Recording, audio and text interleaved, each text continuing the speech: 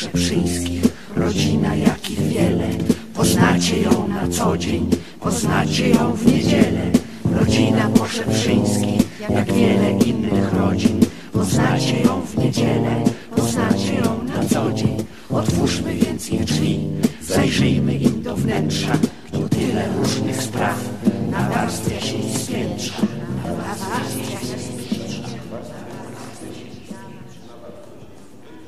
No, jaka piękna w zasadzie noc. O, świeci księżyc, gwiazdy migocą, żarówki bzyczą, koty miauczą, szczury piszczą, psy się wypróżniają.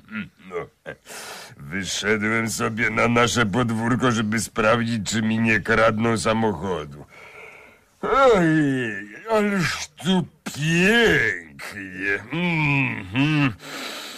Ach, jak pachnie. O tej porze roku śmieci rozkładają się w zasadzie błyskawicznie. To... Mm. O, czuję zapach gnijącej marchewki, stęchliznę spleśniałego pieczywa i woń zepsutych jajek. Mm, mm. No, te wszystkie zapachy i smrody są tak silne, że aż kręci mi się w głowie. Można się nimi upić w zasadzie jak najlepszym winem, ale ja przecież nie mogę pić, bo jestem kierowcą. Lubię mówić do siebie, tak. Ludzie powinni mówić w zasadzie tylko do siebie. Wtedy byłoby o wiele przyjemniej. Nie lubię, jak ktoś do mnie mówi. Wtedy trzeba słuchać, kiwać głową albo kręcić, prawda? Niektórzy mówią za szybko, inni za wolno i nic nie można zrozumieć. A sam ze sobą zawsze się dogadam.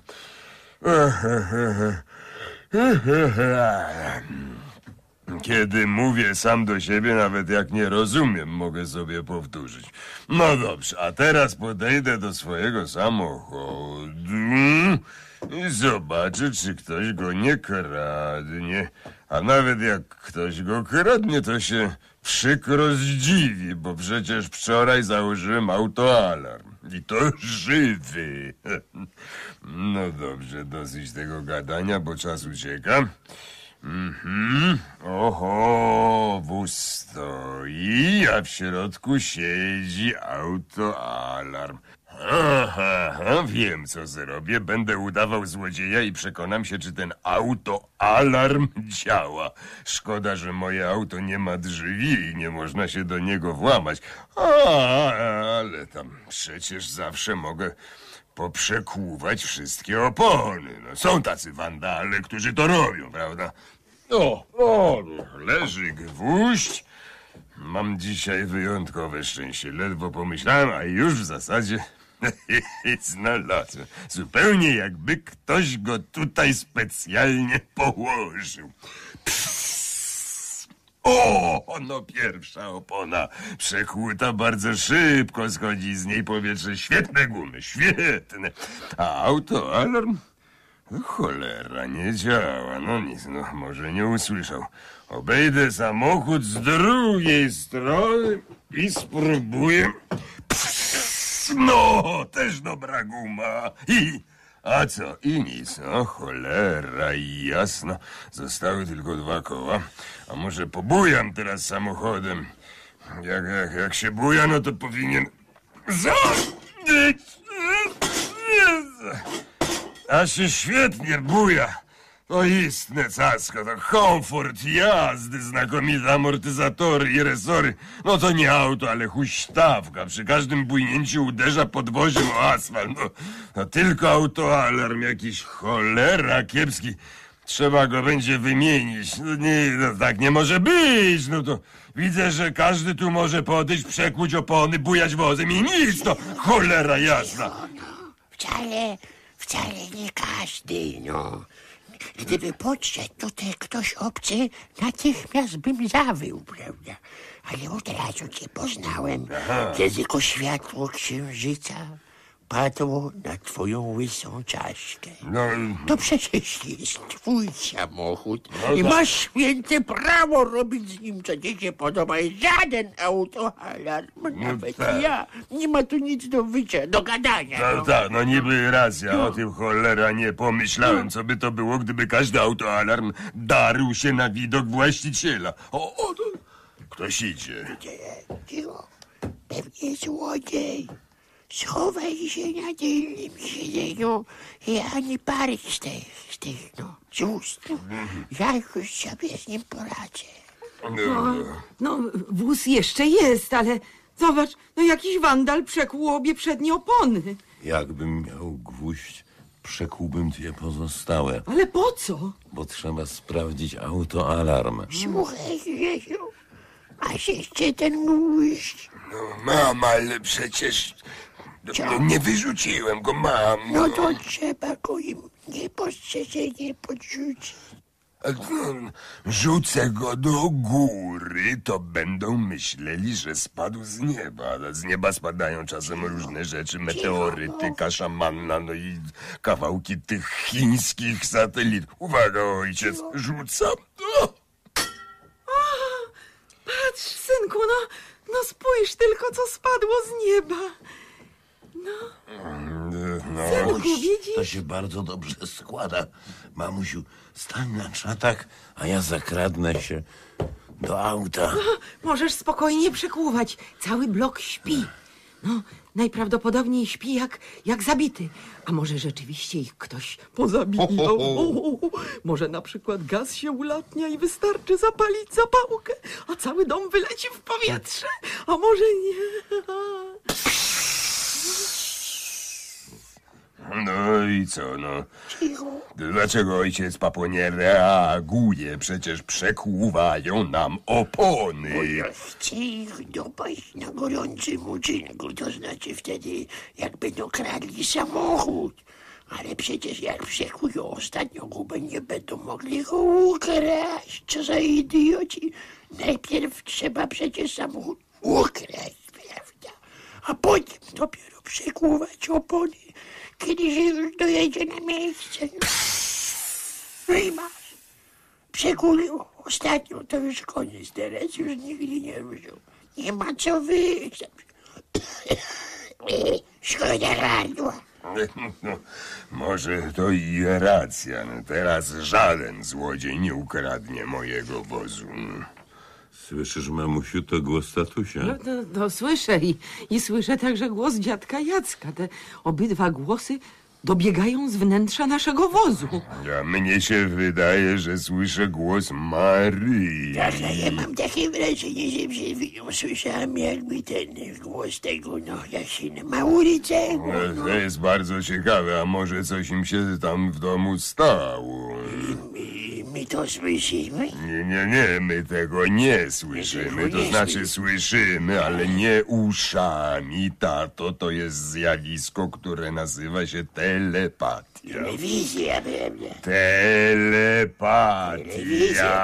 Ludzie sobie bliscy potrafią w zasadzie porozumieć się ze sobą telepatycznie, niejednokrotnie na bardzo dużą odległość. Kiedy na przykład ktoś dusi czyjąś żonę w Krakowie, to mąż tej czyjejś żony, znajdujący się w Warszawie, może usłyszeć jej wołanie o pomoc. No, no, no, no, no i co wtedy? No? No to zależy, czy ją kocha. Jeżeli ją kocha, to pewnie wsiądzie w pociąg i pojedzie, żeby ją ratować. No dobrze, a nie kocha?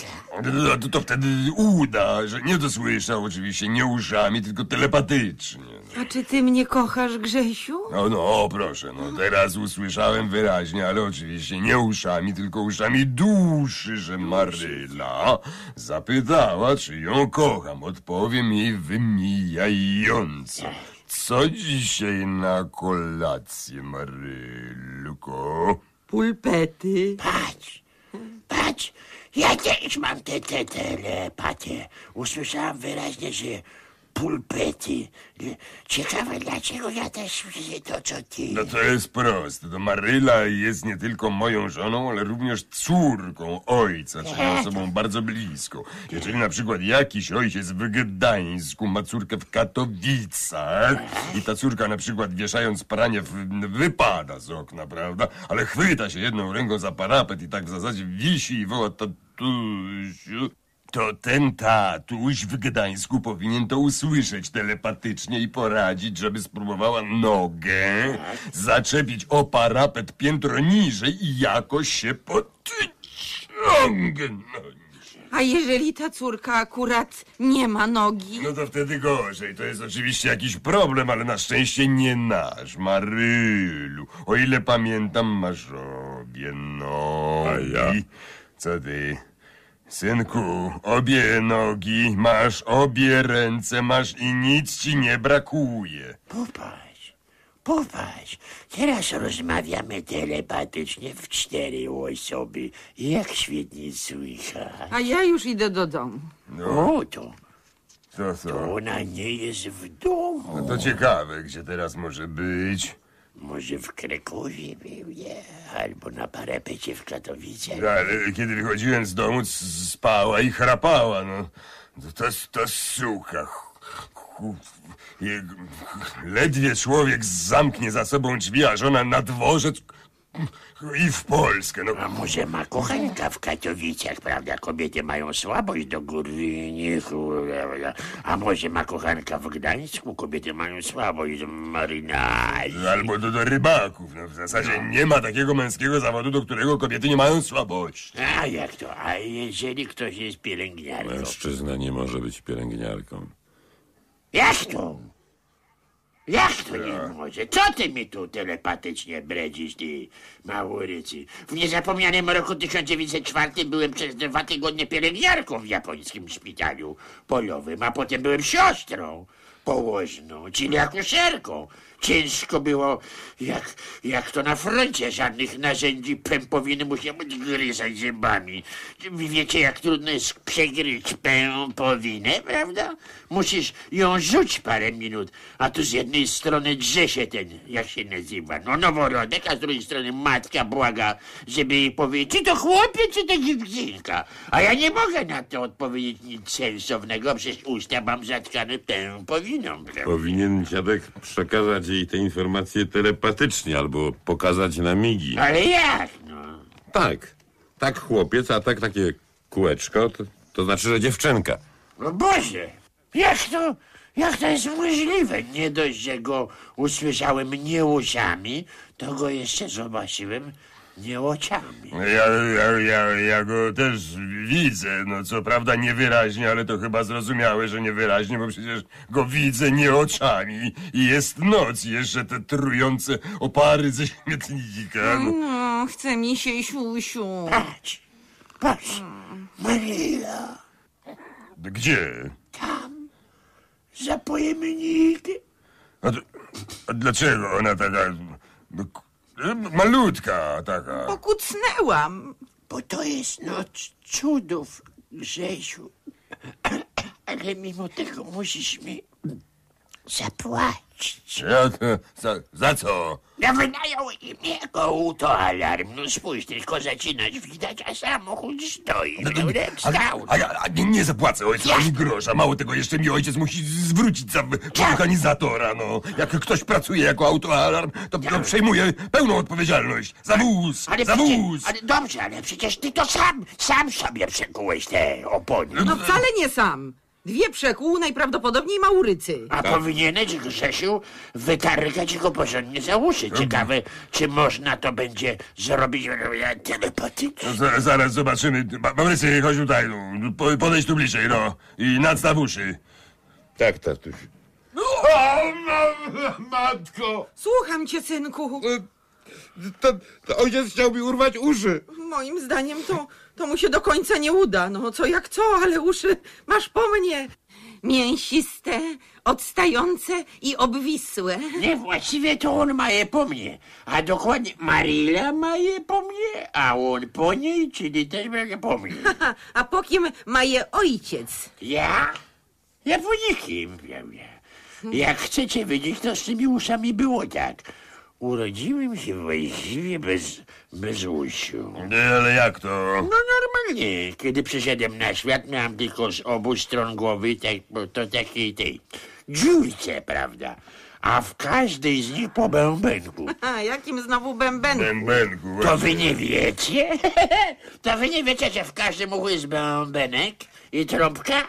A jak to się tam wszystko mieści, dziadku? Ale bo to, to, to nie są duże instrumenty. Bębenek jest malutki, prawda? A nie wiem czy, czy, prawda? A trąbka jeszcze mniejsza. Bo trąbka to jest znowu tego, Eustachiusza, prawda? Wszyscy się ze mnie śmieli, ale puszczałem to mimo uszu. Najgorsze było to, że w czasie deszczu woda wlewała mi się przez te dziurki do głowy, prawda? I instrumenty, zwłaszcza trąbka, od tego rdzewiały. A zardzewiała trąbka to po prostu no coś okropnego. Tak. Nie było rady. Chwyciłem się mocno za, o tu, to, za skórę. Za co? Skor... Czekaj, pokazuję, no za skronia. Zacząłem ciągnąć ile się w prawo, w lewo. A po miesiącu miałem już spore takie, takie wy, wypustki, prawda. A po roku to taki łysy jak nikt. Kiedy mi robili fotografię do książeczki wojskowej, to musieli użyć specjalnego szerokątnego obiektywu, żeby na zdjęciu zmieściły się także te uszy. To i co, i, i ja mam te uszy po ojcu? No nie zupełnie. Wyjawię wam telepatycznie straszną tajemnicę. No jako, no jako? Cicho. Tak naprawdę my, poszeprzyńscy, Tak. już od czasów Jagiellonów rodzimy się z dziurkami zamiast uszu. No, no, no, no, no, co, no, no, no, no to jakieś bzydury. Grzegosiu, uważaj, co mówisz. Pamiętaj, że ja z tobą nie rozmawiam telepatycznie, tylko normalnie. Jak ci przypakuję, to możesz być pewien, że poczujesz. Wracając do naszych baranów, to, czyli Łusiu, no kiedy Marylka przyszła, właściwie to przybiegła prawda, na świat, zamknąłem się z nią w szafie, z której wyszliśmy dopiero, kiedy jej uszy były już takie, jak się należy. No i to, to, to, to musi być prawda, bo pamiętam, że kiedy Maurycy przybiegł na świat, to ojciec od razu zamknął się z nim w szafie i nawet nie wiedziałam, czy to chłopiec, czy dziewczynka. No, nie i wyciągnąłem ci usi, moje dziecko Maurycy kochanej najpiękniej jak potrafiłem. Bardzo, bardzo ci za to dziękuję, dziadku. No, ja uważam, że te wasze uszy są w zasadzie do niczego. Zresztą, kiedy się rozmawia telepatycznie, to uszy są w ogóle niepotrzebne. No nie wiem jak wy, ale ja idę do domu, na pulpety, bo jeść telepatycznie się nie da. Pogadam sobie z Marylą i z Maurycym osobiście. to ja też idę do domu. Ja. A kto będzie pilnował pojazdu? No to chyba ojciec żartuje.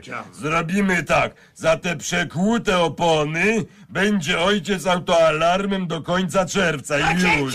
A tak, a potem się zobaczy. Oczywiście nie oczami.